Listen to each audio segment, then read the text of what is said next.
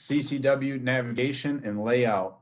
We are going to primarily focus on CCW as it pertains directly to the PanelView 800.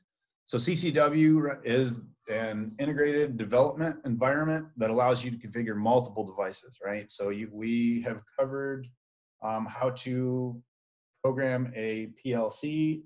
We uh, many people use CCW to uh, configure drives, um, certain safety devices, and things of that nature. So connected components is just an overall um, software platform as far as downloading and installation of CCW, we have previously covered this in a video. If anybody has any questions or um, needs to use this as reference, you can either go to our uh, YouTube page, which again was ESE COTV, or you can use the link that I've posted below, but it gives you a very good detailed methodology on where to find it, what to select and um, things that you need to pay attention while you're installing it. But I'm going to go over specific kind of uh, CCW navigation when it comes to uh, the PanelView 800. So CCW uses a tabular format in which it organizes everything in a project tree, a toolbox, and properties. The project tree is also the project organizer um, by title of the tab in which it uses.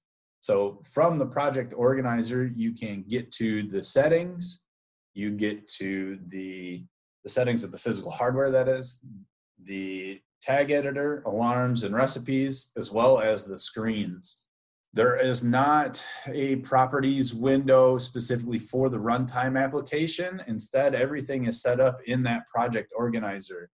Um, so one thing you always want to uh, pay attention to is there is only one screen that is uh, shown on startup and it is always identified with the little symbol that we show on the right hand side which is a number one um, hovering over a screen view this is the startup screen and it will always be the first one to show up. You can change that and we will show you how later on if you like.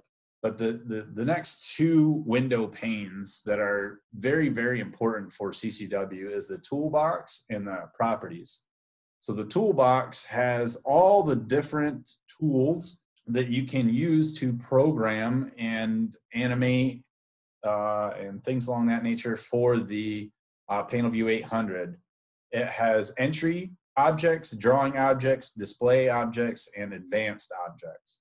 Commonly for Machine Edition, you would be able to double click a object and it would open up its own properties window Whereas in CCW, when you drag and drop and add a object from the toolbox, you will need to use the properties window pane.